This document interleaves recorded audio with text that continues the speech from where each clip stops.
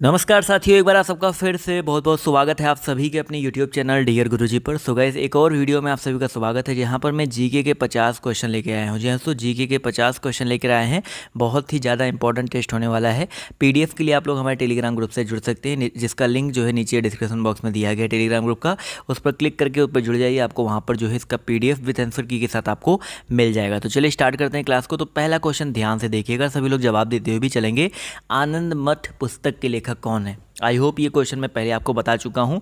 आनंद मठ जो पुस्तक है, ये सन्यासी विद्रोह पर लिखी गई थी और भारत का जो राष्ट्रीय गीत है, वो भी इसी पुस्तक से लिया गया है। तो याद रखिए दोस्तों, यहाँ पर जितने भी लोग बंकिम चंद्र चट्टोपाध्याय जवाब दे रहे हैं, वो लोग यहाँ पर बिल्कुल करेक्ट हो जाएँगे।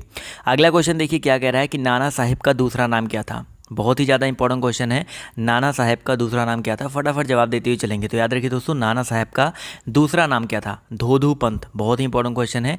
धोधू पंथ था इनका दूसरा नाम। और अट्ठारह सौ ईस्वी का जो विद्रोह हुआ था, उसमें कानपुर से, कहाँ से दोस्तों? कानपुर से इन्होंने नेतृत्व किया था। बहुत ही इंपॉर्टेंट है। ये कई बार आपका कानपुर वाला जो है पूछा जाता है। अगला क्वेश्चन कह रहा है कि बाल, पाल और लाल, ये जो हैं प्रमुख नेता थे किस दल के? पता फटाफट जवाब देते हुए चलेंगे। यहाँ पर याद रखिएगा भैया बाल है पाल है और लाल है। तो बाल मतलब बाल गंगाधर तिलक। पाल मतलब आपका होता है क्या? बिपिन चंद्र पाल और लाल का मतलब होता है लाला लाजपत राय। तो यहाँ पर याद रखिए दोस्तों ये जो हैं आपके इसके जो आ, पूछा गया है कि कौन सी पार्टी के कौन से नेता थे तो याद रखिएगा ये कांग्रेस दल के गरम दल के नेता थे। यानी कि ऑप्शन नंबर जो इसका डी है कांग्रेस पार्टी के गरम दल वो यहाँ पर बिल्कुल करेक्ट हो जाएगा। अगला क्वेश्चन देखिए आपसे यहाँ पर क्या कह रहा है कि पाकिस्तान नाम जो है किसने गढ़ा था? बहुत ही अच्छा क्वेश्चन है। सभी लोग जवाब देंगे यहाँ पर इसका। पाकिस्तान नाम जो है किसने गढ़ा था? जवाब देखिए क्वेश्चन नंबर आपका यहाँ पर। फोर है, जवाब देखिए आना शुरू हो गया है तो फोर का जो करेक्ट आंसर आपका क्या हो जाएगा?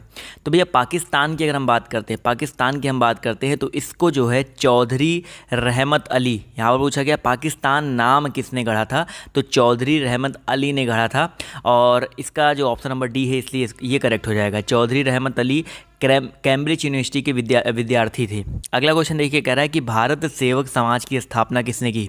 फटाफट यहाँ पर सभी लोग जवाब देंगे। बहुत ही ज़्यादा इंपॉर्टेंट क्वेश्चन है। जितने भी भाई बहन यहाँ पर जुड़े हुए हैं, सभी लोग जवाब देते हुए चलेंगे कि भारत समाज, भारत सेवक समाज की स्थापना किसने की थी? चलिए भाई, यहाँ पर क्वेश्चन नंबर पाँच का जो करेक्ट आंसर क्या हो जाएगा सर गोपाल कृष्ण गोखले। ये जो हैं, किसके राजनीतिक गुरु थे? एक बात बताते चलेंगे, क्योंकि कई बार आपसे पूछा गया है। जो गोपाल कृष्ण गोखले थे, महात्मा गांधी जी के राजनीतिक गुरु भी थे तो याद रखिए दोस्तों, यहाँ पर इन्होंने भारत सेवक समाज की स्थापना की थी। अगला क्वेश्चन देखिए, आपसे क्या कह रहा है कि गांधी जी ने अखिल भारतीय स्तर पर सत्याग्रह आंदोलन किस वर्ष आरंभ किया? चलिए क्वेश्चन नंबर छः है। सभी लोग जवाब देते हुए चलेंगे कि गांधी जी ने अखिल भारतीय स्तर पर सत्याग्रह आंदोलन की आंदोलन किस वर्ष में आरंभ किया था? तो याद रखिए दोस्तों 1919 में, यानी कि 1919 ईस्वी में दोस्तों गांधी जी ने अखिल भारतीय स्तर पर सत्याग्रह आंदोलन जो है स्टार्ट किया था। क्वेश्चन नंबर सात है। सभी लोग फटाफट यहाँ पर जवाब देंगे। बहुत ही ज़्यादा अच्छा क्वेश्चन है कि बारदोली सत्याग्रह निम्नलिखित में से किस व्यक्ति से जुड़ा है? बारदोली सत्याग्रह के बारे में पूछा गया है यहाँ पर। क्वेश्चन नंबर आपका यहाँ पर सेवन है। जवाब देखिए, सेवन का आना शुरू हो गया है। तो याद रखिए दोस्तों, सेवन का जो करेक्ट आंसर आपका हो जाएगा, सरदार वल्लभ भाई पटेल जी हाँ दोस्तों। सरदार वल्लभ भाई पटेल जी की बात करते हैं तो यहाँ पर बारदोली सत्याग्रह जो है, इन्हीं से संबंधित है। अगला क्वेश्चन देखिए, आपसे यहाँ पर क्या कह रहा है कि खाद्य प्रोटीन के दो सबसे प्रमुख या सबसे समृद्ध स्रोत कौन से हैं? सबसे समृद्ध का मतलब क्या होता है? सबसे ज़्यादा जिसमें हो। तो भैया, खाद्य प्रोटीन की बात हो रही है तो याद रखिएगा, खाद्य प्रोटीन की बात करते हैं तो सबसे ज़्यादा तो सोयाबीन सबने सुनी रखा है। उसके अलावा मूँगफली तो सोयाबीन और मूंगफली में सबसे ज़्यादा जो है प्रोटीन होता है। आप ये मान के चलिए, सोया सोयाबीन हो गया मूंगफली हो गया, एक आधे कप में आप पंद्रह ग्राम तक प्रोटीन जो है पा सकते हैं। अगला क्वेश्चन देखिए, आपसे यहाँ पर क्या कह रहा है? ध्यान से देखिएगा कि जो मूत्र का पीला रंग होता है, वो किसकी मौजूदगी के कारण होता है? फटाफट जवाब देते हुए चलेंगे। मूत्र का पीला रंग किसकी मौजूदगी के कारण होता है? क्वेश्चन नंबर आपके यहाँ पर नाइन है। जवाब देखिए नाइन का यहाँ पर सभी साथी देते हुए चलेंगे। तो क्वेश्चन नंबर नाइन की हम बात करते हैं तो याद रखिएगा यूरोक्रोम। बहुत ही इंपॉर्टेंट क्वेश्चन है। यूरोक्रोम की मौजूदगी के कारण मूत्र का जो रंग होता है, वो आपका येलो यानी कि पीला कलर का होता है। अगला क्वेश्चन देखिए क्या कह रहा है कि क्लोरोफिल में क्या पाया जाता है? क्वेश्चन नंबर दस है, सभी लोग जवाब देते हुए चलेंगे। क्लोरोफिल में क्या पाया जाता है? चलिए भैया क्वेश्चन नंबर दस है। यहाँ पर इसका जवाब देखिए, आना शुरू हो गया धीरे धीरे तो क्लोरोफिल की अगर हम बात करते हैं तो दोस्तों उसमें मैग्नीशियम पाया जाता है। मैग्नीशियम हरी पत्तीदार सब्ज़ियाँ जो, जितनी भी आप हरी पत्तीदार सब्ज़ियाँ देखोगे, उन सभी में मैग्नीशियम पाया जाता है। तो क्लोरोफिल में वही पाया जाता है बेसिकली इसके अलावा इसकी खोज कभी कभी पूछा जाता है कि मैग्नीशियम की खोज किसने की थी? तो सर हम्फ्री डेवी ने किया था। किसने किया था भैया? सर, यहाँ पर मैं लिख देता हूँ वर्तनी के साथ, जिससे आप लोग गलत ना करो। हम्फ्री होता है। हम्फ्री डेवी ने किया था, ठीक है? ये डा है भाई। डेवी ने किया था 1909 में, यानी कि उन्नीस सौ में इसकी खोज हुई थी। अगला क्वेश्चन देखिए क्या कह रहा है कि पौधे के किस भाग से हल्दी प्राप्त होता है? चलिए भाई, फटाफट जवाब देते हुए चलेंगे। पौधे के किस भाग से हल्दी प्राप्त होता है? क्वेश्चन नंबर ग्यारह है, जवाब देखिए आना शुरू हो गया है। तो भैया, ग्यारह का जो करेक्ट आंसर आपका क्या हो जाएगा? चलिए भैया क्वेश्चन नंबर ग्यारह की अगर हम बात करते हैं तो पौधे के किस भाग से हल्दी प्राप्त होती है? मूल भाग से, ठीक है? पौधे का जो मूल भाग होता है वो बेसिकली आपकी ऑप्शन नंबर जो इसका ए है, यहाँ पर करेक्ट हो जाएगा बट यहाँ पर हाँ ठीक है, मूल मतलब जड़ी होता है, वही मेरे दिमाग में जड़ चल रहा था, मूल और जड़ एक ही होता है तो जड़ों से जो होती है, आपकी हल्दी जो है प्राप्त होती है, ठीक है? अगला क्वेश्चन देखिए आपसे यहाँ पर क्या कह रहा है, ध्यान से देखिएगा क्वेश्चन नंबर आपका यहाँ पर बारह कह रहा है कि वर्ल्ड ट्रेड सेंटर पर आतंकवादी हमला कब हुआ था? चलिए भाई, क्वेश्चन नंबर बारह, बहुत ही फ़ेमस ये हमला हुआ था और आप सभी को इसके बारे में पता है, पूरी दुनिया जो है जानती है। चलिए, वर्ल्ड ट्रेड सेंटर तो भैया W T O world trade centre की बात हो रही है तो इस सेंटर पर जो है आतंकवादी हमला कब हुआ था? ये हमला सभी को पता है 2001 में हुआ था बट याद रखिएगा 11 सितंबर 2001 ये डेट भी याद रखिएगा, क्योंकि यहाँ पर देख सकते हैं डेट के साथ ही दिया गया है तो ऑप्शन नंबर जो इसका ए है, वो यहाँ पर बिल्कुल करेक्ट हो जाएगा। अगला क्वेश्चन देखिए आपसे, यहाँ पर क्या कह रहा है कि भारतीय संविधान में धार्मिक स्वतंत्रता का अधिकार वर्णित है, कौन से अनुच्छेद से लेकर कौन से अनुच्छेद तक? चलिए सर, धार्मिक स्वतंत्रता की बात हो रही है। तो याद रखिए दोस्तों भारतीय संविधान में अनुच्छेद 25 से 28 की अगर हम बात करते हैं, अनुच्छेद 25 का ज़िक्र किया गया है, जहाँ पर धार्मिक स्वतंत्रता की बात हुई है और धार्मिक स्वतंत्रता को लेकर के बेसिकली 25 से लेकर 28 तक आपको देखने को मिल जाएगा। अगला क्वेश्चन देखिए क्या कह रहा है कि भारतीय संविधान के अकॉर्डिंग भारत एक कैसा देश है? बताइए सर, भारत धर्मनिरपेक्ष जाति विशेष या वर्ग विशेष या धर्म सापेक्ष तो भैया, भारतीय संविधान के अकॉर्डिंग, भारत एक धर्मनिरपेक्ष राज्य धर्मनिरपेक्ष देश है। तो ऑप्शन नंबर जो इसका ए है, वो यहाँ पर बिल्कुल करेक्ट हो जाएगा। अच्छा कई बार एक क्वेश्चन पेपर में पेपर में आता है कि ये जो सेकुलर शब्द है, ये कब जोड़ा गया था? तो उन्नीस सौ ईस्वी में जोड़ा गया था, जो आपका बयालीसवां संविधान संशोधन हुआ था। ये बहुत ही ज़्यादा इंपॉर्टेंट क्वेश्चन है सेकुलर वाला। अगला क्वेश्चन देखिए, आपसे यहाँ पर क्या कह रहा है? कि भैया, भारतीय संविधान की उद्देशिका में पंथ निरपेक्ष शब्द किस संवैधानिक संशोधन के द्वारा जोड़ा गया है? पंथ निरपेक्ष शब्द। चलिए सर, अभी मैंने आपको सेकुलर के बारे में बताया। अभी यहाँ पर पंथ निरपेक्ष शब्द के बारे में पूछा गया है। तो याद रखिएगा दोस्तों, जो आपका बयालीसवां संविधान संशोधन हुआ था, उसमें ही पंथ निरपेक्ष राष्ट्र की अखंडता, ये जो शब्द है आपके जोड़े गए थे तो यहाँ पर बयालीसवा संविधान संशोधन जो ऑप्शन नंबर बी है, वही यहाँ पर करेक्ट हो जाएगा। अगला क्वेश्चन देखिए क्या कह रहा है कि भारत के विदेशी नीति का मूल सिद्धांत क्या है? भारत के विदेशी नीति का मूल सिद्धांत क्या है? चलिए भैया क्वेश्चन नंबर आपका सोलह है, जवाब देखिए, आना शुरू हो गया है। तो याद रखिए, गुट निरपेक्षता। भारत के विदेशी नीति का जो मूल सिद्धांत है, वो गुट निरपेक्षता होता है। भैया, गुट निरपेक्षता का अर्थ क्या होता है? गुट निरपेक्षता का मतलब होता है कि किसी मुद्दे के संबंध में उसकी योग्यता तथा भारत के हितों पर इससे पड़ने वाले प्रभावों के संदर्भ में निर्णय लेने की क्षमता। ठीक है तो यहाँ पर ऑप्शन नंबर जो इसका डी है, वो यहाँ पर करेक्ट हो जाएगा। सत्रह का जवाब देंगे, जंग से बचाने के लिए लोहे से बने पानी के पाइपों पर जस्ते की परत चढ़ाने को क्या कहते हैं?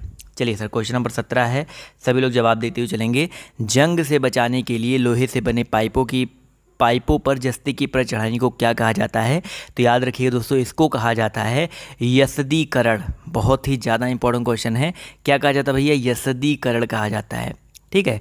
अगला क्वेश्चन देखिए, आपसे क्या कह रहा है कि कपड़ों तथा बर्तनों को साफ़ करने के लिए प्रयुक्त डिटर्जेंट में क्या होता है? कपड़ों तथा बर्तनों को साफ़ करने के लिए जो डिटर्जेंट प्रयुक्त किया जाता है, उसमें क्या होता है? क्वेश्चन नंबर अठारह है। तो याद रखिए दोस्तों, इसमें बेसिकली आपका होता है सोडियम कार्बोनेट ठीक है? क्या होता है दोस्तों आपका? सोडियम कार्बोनेट होता है। तो ऑप्शन नंबर जो इसका बी है, वो यहाँ पर बिल्कुल करेक्ट हो जाएगा। इसका रासायनिक सूत्र होता है एन ठीक है? अगला क्वेश्चन देखिए, कह रहा है कि पॉलीथीन बनता है। क्वेश्चन नंबर उन्नीस है। सभी लोग जवाब देते हुए चलेंगे। पॉलीथीन जो है बनता है, किससे बनता है? क्वेश्चन नंबर उन्नीस जवाब देखिए, यहाँ पर आना शुरू हो गया है। तो भैया, पॉलीथीन दो पदार्थों से बनता है। एक आपका होता है एथिलीन और एक आपका होता है वेंजिल डिहाइड इसके मिश्रण से बनता है उच्च दाब पर। तो ऑप्शन नंबर जो इसका ए है एथिलीन, वो यहाँ पर बिल्कुल करेक्ट हो जाएगा।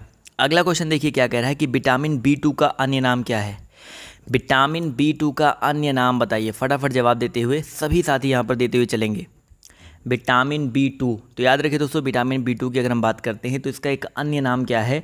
राइबोफ्लेविन है। तो ऑप्शन नंबर जो इसका सी है, वो यहाँ पर बिल्कुल करेक्ट हो जाएगा। चलिए, अगला क्वेश्चन देखिए आपसे यहाँ पर क्या कह रहा है। ध्यान से समझिएगा, ध्यान से देखिएगा कि बाल गंगाधर तिलक ने किसे अपना राजनीतिक गुरु कहते थे? बाल गंगाधर तिलक जो है, किसे अपना राजनीतिक गुरु कहते थे? ये क्वेश्चन पूछा गया है। तो भैया क्वेश्चन नंबर हम बात करते हैं इक्कीस के बारे में। तो बाल गंगाधर तिलक, स्वामी विवेकानंद जी को, किसको दोस्तों? स्वामी विवेकानंद जी को अपना गुरु मानते थे। चलिए, अगला क्वेश्चन देखिए क्या कह रहा है कि भूदान आंदोलन किसने स्टार्ट किया था? भूदान आंदोलन जो है, किसने प्रारंभ किया था? क्वेश्चन नंबर बाईस है। बाईस का जवाब जो है क्या हो जाएगा? बाईस का जो करेक्ट आंसर है आपका हो जाएगा बिनोबा भावे। जी हाँ दोस्तों भूदान आंदोलन जो है संत बिनोबा भावे द्वारा उन्नीस सौ इक्यावन ईस्वी में स्टार्ट किया गया था और ये स्वैच्छिक भूमि सुधार आंदोलन था और बेसिकली बहुत ही ज़्यादा मतलब सक्सेस ये मान सकते हैं कि लोगों ने भी इसका सपोर्ट किया था। बहुत सक्सेस आंदोलन था ये। अगला क्वेश्चन देखिए कह रहा है कि आज़ाद हिंद फौज का गठन जो है कब हुआ था? आज़ाद हिंद फौज बताइए सर, इसका जो गठन है, कब हुआ था? आज़ाद हिंद फ़ौज की अगर हम बात करते हैं, देखिए दो यहाँ पर एक काफ़ी लोग को कन्फ्यूज़न रहता है बट मैं यहाँ पर क्लियर कर देना चाहूँगा। 1942 में हुआ था, भारत को अंग्रेज़ों के कब्ज़े से स्वतंत्र कराने के लिए आज़ाद हिंद फ़ौज का जो है, गठन हुआ था, और इसकी संरचना रास बिहारी बोस ने जापान की सहायता से टोक्यो में की थी। ठीक है? तो ये आज़ाद हिंद फौज का गठन 1942 में हुआ था। अगला क्वेश्चन देखिए आपसे यहाँ पर क्या कह रहा है कि निम्नलिखित में से कौन सा राजनीतिक अधिकार नहीं है? क्वेश्चन नंबर चौबीस है और सभी को बताते हुए चलना है, यहाँ पर कौन सा जो है आपका राजनीतिक अधिकार नहीं है? चलिए सर, मत देने का अधिकार एक राजनीतिक अधिकार है। चुनाव जीवन का जो आधार है, बिल्कुल सही यहाँ पर ऑप्शन पढ़ने से पता चले जो जीवन का आधार है, ये कोई राजनीतिक अधिकार नहीं होता है तो ऑप्शन नंबर जो इसका बी है, वो यहाँ पर करेक्ट हो जाएगा। चलिए, पच्चीस नंबर क्वेश्चन पे आते हैं तो कह रहा है कि संविधान का अनुच्छेद 370 किस राज्य पर लागू होता है? संविधान का जो अनुच्छेद 370 है, आप सभी को बताना है किस राज्य पर लागू होता है, सभी को पता है आप तो हट गया 370 जो है आपका जम्मू और कश्मीर पर लागू होता है और आप सभी को पता था कि इसी के तहत इसको विशेष राज्य का दर्जा दिया गया था बट अभी तो हट चुका है सभी को पता ही है। क्वेश्चन नंबर 26 का जवाब देंगे, मूल अधिकार भारतीय संविधान के किस भाग में स्थापित है? मूल अधिकार जो है भारतीय संविधान के किस भाग में स्थापित है? तो याद रखिए दोस्तों, मूल अधिकार जो है भारतीय संविधान के भाग तीन में, ठीक है? भाग तीन में अनुच्छेद की बात करते हैं तो बारह से लेकर के पैंतीस तक जो है आपका स्थापित किया गया है। अगला क्वेश्चन देखिए आपसे यहाँ पर क्या कह रहा है? क्वेश्चन नंबर ट्वेंटी सेवन की अगर हम बात करते हैं, ध्यान से देखिए कि भारत के संविधान में शामिल राजनीति के निर्देशक सिद्धांतों की अवधारणा किसके संविधान से ली गई है? क्वेश्चन नंबर सत्ताईस है। सभी लोग जवाब देते हुए चलेंगे कि भारत के संविधान में शामिल राजनीति के निदेशक सिद्धांतों की जो अवधारणा है, वो किसके संविधान से ली गई है? तो याद रखिए दोस्तों, आयरलैंड। ऑप्शन नंबर जो इसका डी है, आयरलैंड, वो यहाँ पर बिल्कुल करेक्ट हो जाएगा। अट्ठाईस नंबर क्वेश्चन देखिए, बहुत ही आसान सा क्वेश्चन है। आपने पढ़ाई होगा कि एड्स का जो विस्तृत रूप है वो क्या हो जाएगा? क्वेश्चन नंबर ट्वेंटी एट है, सभी लोग जवाब देते हुए चलेंगे। तो याद रखिए दोस्तों, अगर हम बात करते हैं एड्स के बारे में ए आई डी एस इसका जो फुल फॉर्म होता है होता है एक्वायर्ड इम्यूनो डिफिशियंसी सिंड्रोम यानी कि ऑप्शन नंबर जो इसका सी है, वो यहाँ पर बिल्कुल करेक्ट हो जाएगा। उनतीस नंबर क्वेश्चन कह रहा है कि ध्वनि मापक इकाई को क्या कहते हैं? ध्वनि मापक इकाई को क्या कहा जाता है भाई? ध्वनि मापक इकाई को डेसीबल कहते हैं, ठीक है? डेसीबल में हम लोग ध्वनि की, ध्वनि को मापते हैं। डेसीबल जो मापक होता है वो शून्य से स्टार्ट होता है और ये शून्य, दस डेसीबल, पंद्रह डेसीबल, एक डेसीबल, दो डेसीबल, इस तरह से आपको जो है इसका मापा जाता है। अगला क्वेश्चन देखिए कह रहा है कि दो हज़ार ग्यारह की जनगणना के अकॉर्डिंग भारत, अखिल भारत स्तर पर लिंगानुपात है। लिंगानुपात के बारे में कई बार आपसे पेपर में पूछा जा चुका है। चलिए भाई, जवाब यहाँ पर हो जाएगा 943 ठीक है 2011 की जो जनगणना हुई थी, वो लिंगानुपात जो है 943 है, अखिल भारत स्तर पर। अगला क्वेश्चन कह रहा है कि दालें निम्नलिखित में से किसका उत्तम स्रोत होती हैं? दाल। भैया, दाल सभी को पता है, भाई, दाल से हमें क्या मिलता है? प्रोटीन मिलता है ना तो दाल जो होता है, प्रोटीनों का, प्रोटीन का स्रोत होता है, ठीक है? अगला क्वेश्चन देखिए आपसे यहाँ पर क्या कह रहा है कि निम्नलिखित में से किसमें पर्याप्त मात्रा में विटामिन सी होता है। भैया, विटामिन सी सभी को पता है, अभी तो जब से कोरोना है तब तो तब से और सभी को पता ही चल गया होगा कि जो खट्टी चीज़ें होती है, जैसे नींबू हो गया, आंवला हो गया, इन सब में जो होता है, सबसे ज़्यादा होता है। तो आंवला यहाँ पर देखिए दिया गया ऑप्शन में तो ऑप्शन नंबर जो इसका सी ए है, वो यहाँ पर बिल्कुल करेक्ट रहेगा और विटामिन सी की कमी से जो है स्कर्वी रोग होता है, ये भी आप सभी को पता है। और इसके अलावा शरीर में रक्त की भारी कमी हो जाती है, और विटामिन सी, घावों को भरने, पीप को सुस्त करने, हड्डियों को जोड़ने के काम में आता है। अगला क्वेश्चन देखिए कह रहा है विटामिन बी की कमी से क्या होता है? बहुत ही अच्छा क्वेश्चन है। विटामिन बी की कमी से क्या होता है? चलिए भैया क्वेश्चन नंबर तैंतीस है। जवाब देखिए, यहाँ पर आना शुरू हो गया। तो विटामिन बी की बात करते हैं तो इससे दोस्तों बेरी बेरी नाम का रोग होता है। अगर आप टमाटर लेते हो, अंडे की जर्दी लेते हो, हरी पत्तियों के साग खाते हो, बादाम खाते हो, अखरोट खाते हो तो यहाँ पर आपको विटामिन बी की कभी कमी होने वाली नहीं है। अगला क्वेश्चन देखिए क्या कह रहा है कि प्रकाश संश्लेषण के समय निकलने वाली गैस को क्या नाम दिया गया है? प्रकाश संश्लेषण के समय। भाई प्रकाश संश्लेषण क्या होता है? एक ऐसी क्रिया होती है जिसमें पौधे जो होते हैं अपने हरे रंग वाले अंग जितने होते हैं जैसे पत्ती हो गया उसके द्वारा सूर्य के प्रकाश की उपस्थिति में, वायु से कार्बन डाइऑक्साइड तथा भूमि से जल लेकर के जटिल कार्बनिक खाद्य पदार्थ जैसे कार्बो कार्बोहाइड्रेट का निर्माण करते हैं और सी जो है ऑक्सीजन और सी गैस जो है, बाहर निकालते हैं। तो सिंपल सा आपका याद रखिएगा। तो यहाँ पर कार्ब निकलने वाली गैस को क्या कहते हैं? तो याद रखिएगा दोस्तों ऑक्सीजन गैस बेसिकली निकलती है। ठीक है? ऑक्सीजन गैस बाहर निकालते हैं तो ऑप्शन नंबर जो इसका बी है, वो यहाँ पर बिल्कुल करेक्ट हो जाएगा। अगला क्वेश्चन देखिए, आपसे क्या कह रहा है कि इस पेड़ की छाल मसाले के रूप में प्रयोग की जाती है। कौन से पेड़ की छाल हम लोग मसाले के रूप में प्रयोग करते हैं? बताइए, फटाफट जवाब देते हुए चलेंगे। तो याद रखिए दोस्तों, दालचीनी। दालचीनी जो है, ये बेसिकली आप ये जान के चलो कि साउथ इंडिया में बहुत ज़्यादा आपको देखने को मिलता है और दालचीनी लोग खाते भी हैं और इसकी छाल जो होती है, मसाले के रूप में प्रयोग की जाती है। एक मसाला होता है। अगला क्वेश्चन देखिए, कह रहा है कि जीवाश्म किस प्रकार के सेल में पाई जाती है? जीवाश्म। बताइए सर, जीवाश्म को अंग्रेज़ी में हम लोग फॉन्सिल कहते हैं और इसका संबंध जो होता है, किससे होता है? आप सभी को होता है कि बहुत पहले जब जो चट्टानों में बहुत योग योग जो दबे हुए मतलब जीव होते हैं, वो बाद में ईंधन बन जाते हैं बेसिकली वही होता है। तो याद रखिएगा, ये किस प्रकार के सेल में पाई जाती है? तो ये परतदार सेल में पाई जाती है तो ऑप्शन नंबर जो इसका बी है, परतदार का मतलब होता है भूपरपटी सेलों में पाई जाती है। ठीक है? सैंतीस का जवाब दीजिए सर, ज्वार भाटा की उत्पत्ति का रीजन क्या होता है? ज्वार भाटा की उत्पत्ति का जो मेन रीजन है, वो आपका क्या होता है? क्वेश्चन नंबर सैंतीस से जवाब देखिए, आना शुरू हो गया। तो भैया, ज्वार भाटा जो है, चंद्रमा और सूर्य के पृथ्वी पर गुरुत्वाकर्षण बल द्वारा खिंचाव के कारण उत्पन्न होता है। तो यहाँ पर जो करेक्ट आंसर आपका हो जाएगा, चंद्रमा का गुरुत्वाकर्षण। ठीक है? अगला क्वेश्चन देखिए क्या कह रहा है कि भारत में संपत्ति का अधिकार अब रह गया है। भाई, संपत्ति का अधिकार जो है, किस प्रकार का अधिकार है? संवैधानिक अधिकार है? नहीं भैया। मौलिक अधिकार पहले था जो कि अब नहीं रह गया है। कानूनी अधिकार हम लोग कह सकते हैं। जी हाँ दोस्तों, भारत में जो संपत्ति का अधिकार होता है, एक कानूनी अधिकार होता है। अगला क्वेश्चन देखिए आपसे क्या कह रहा है कि पुराणों की संख्या कितनी है? बताइए सर। कितने पुराण हैं? ब्रह्म पुराण, पद्य पुराण, विष्णु पुराण, शिव पुराण, भागवत पुराण, नारद पुराण, अग्नि पुराण, भविष्य पुराण, ऐसे बहुत सारे पुराण हैं तो उनकी संख्या संख्या कितनी होती है? एक आपका गरुड़ पुराण भी सुना होगा तो याद रखिएगा, अट्ठारह। जितने भी लोग जवाब दे रहे हैं अट्ठारह, वो लोग यहाँ पर बिल्कुल करेक्ट हो जाएँगे। अगला क्वेश्चन कह रहा है कि कौन सा वेद अंशतः गद्य रूप में भी रचित है? बताइए सर। गद्य रूप में भी कौन सा जो वेद है आपका रचित है? तो याद रखिए, अंशतः बोला गया, यानी कि अंशतः भाग। तो चालीस का जो करेक्ट आंसर आपका हो जाएगा, यजुर्वेद। ठीक है, हिंदू धर्म में चार ग्रंथ हैं और ऋग्वेद और के बाद ऋग्वेद होता है यजुर्वेद होता है थुर्वेद होता है, सामवेद होता है, ठीक है? अगला क्वेश्चन देखिए आपसे यहाँ पर क्या कह रहा है कि उज्जैन का प्राचीन नाम क्या था? क्वेश्चन नंबर आपका यहाँ पर इकतालीस है। यहाँ पर इसका जो करेक्ट आंसर आपका क्या हो जाएगा? जितने भी साथी जुड़े हुए हैं, सभी लोग के जवाब यहाँ पर आने चाहिए। भैया, उज्जैन का प्राचीन नाम क्या था? तो उज्जैन का जो प्राचीन नाम था, वो अवंतिका था, ठीक है? तो अवंतिका ऑप्शन नंबर जो इसका ए है, वो यहाँ पर बिल्कुल करेक्ट हो जाएगा। अगला क्वेश्चन देखिए आपसे यहाँ पर क्या कह रहा है कि मीनाक्षी मंदिर जो है आपका कहाँ पे स्थित है? मीनाक्षी मंदिर जो है आपका कहाँ पर स्थित है? चलिए सर, मीनाक्षी मंदिर, मीनाक्षी अम्मा मंदिर या देवी पार्वती और भगवान शिव जी को समर्पित है ये मंदिर और ये बेसिकली आपका मदुरई में स्थित है। कहाँ पे दोस्तों? मदुरई में स्थित है तो ऑप्शन नंबर जो इसका बी है वो यहाँ पर बिल्कुल करेक्ट हो जाएगा।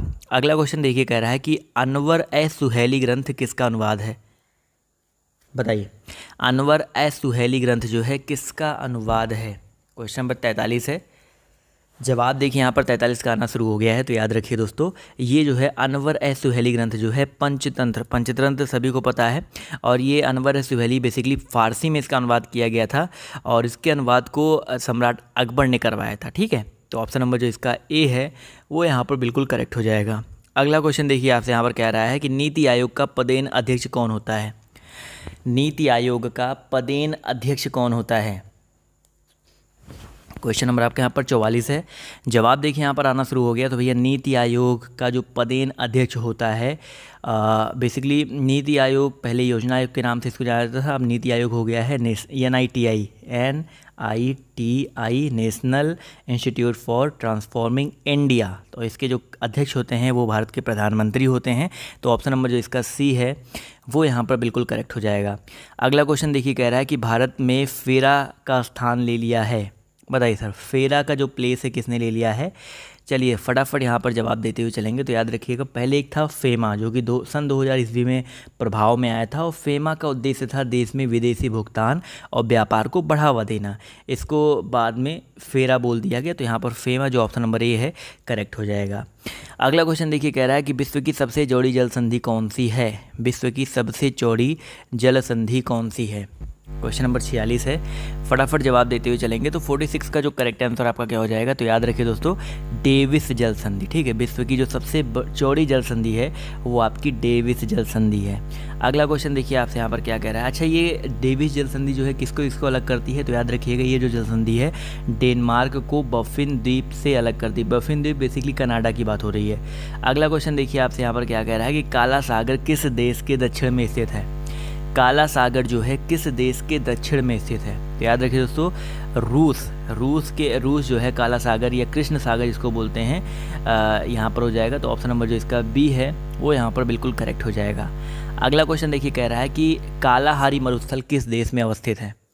कालाहारी मरुस्थल जो है किस देश में स्थित है? क्वेश्चन नंबर आपके यहाँ पर अड़तालीस है। जवाब देखिए यहाँ पर आना शुरू हो गया है तो याद रखिए दोस्तों बोस्तवाना ठीक है? ऑप्शन नंबर जो इसका डी है, वो यहाँ पर बिल्कुल करेक्ट हो जाएगा। बोसवाना चलिए भैया, आते हैं अगले क्वेश्चन पर। तो अगला क्वेश्चन देखिए, आपका यहाँ पर स्किप कर दो। इसका जवाब दो सर पचास नंबर क्वेश्चन का कि डब्ल्यू डब्ल्यू डब्ल्यू के आविष्कारक तथा प्रवर्तक कौन है भैया? W W W world wide web के आविष्कारक कौन है? तो याद रखिएगा, इसका जो आविष्कार है 1989 में हुआ था। कब हुआ था भैया? उन्नीस सौ नवासी में हुआ था। और इसका आविष्कार किया था टिम बर्नर्स ली ने।